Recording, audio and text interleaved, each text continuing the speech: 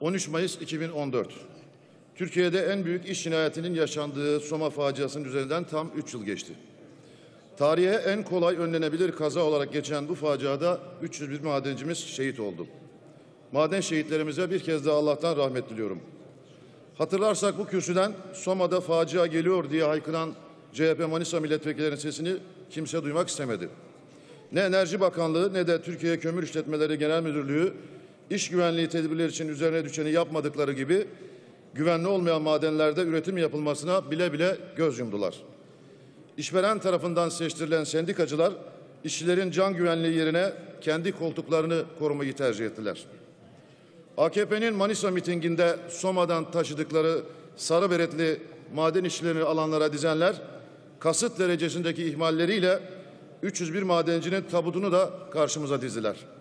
Değerli milletvekilleri bu acı sadece Soma'yı değil cenazelerin gittiği ülkenin dört bir yanını da yakmıştır.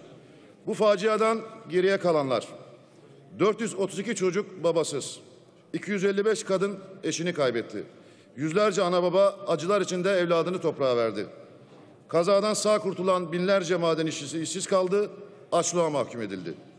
En acısı ise babası madende ölen çocuklara gelen oyuncak hediyelere özenen bir çocuğun madenci babasına baba keşke sen de ölseydin bize de oyuncak gönderirlerdi demesiydi.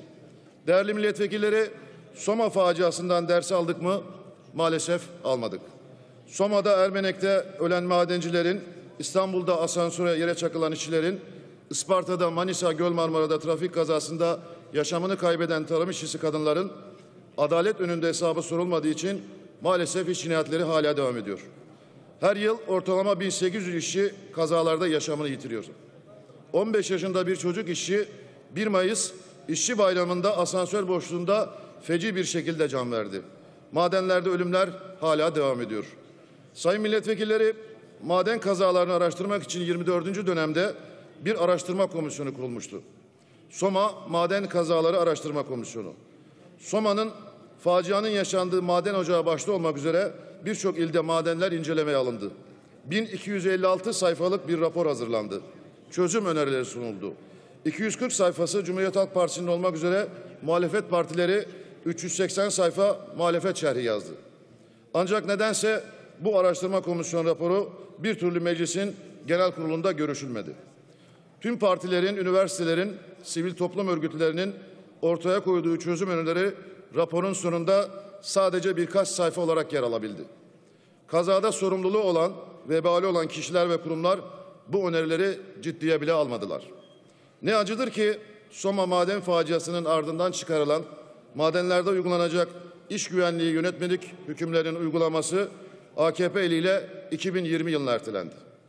Üç yıldır bitmeyen Soma davası Arap saçına dönmüş, mahkemeye baskı iddiaları hep gündemde.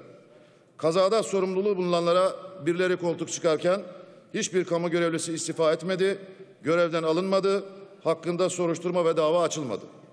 Şirket sahipleri ise suçu çalışanların üzerine yıkmak için dalavere üstüne dalavere içinde. Sayın milletvekilleri geriye tek suçlu kaldı. Kazada ölen maden işçileri, gencecik mühendisler, teknik elemanlar. Bu facia sadece madenciliği değil, Soma'nın ekonomisini de alt üst etmiştir. Ekonomisi ağırlıklı olarak madenciliğe dayalı Soma ilçemiz bunun acısını çok çekti, hala da çekmeye devam ediyor.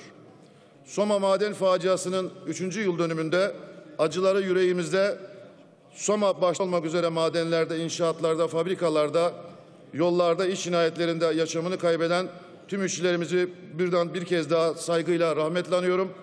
İş kazalarının son bulması temennisiyle bir avuç kömür için bir ömür veren madencileri saygıyla, sevgiyle selamlıyorum.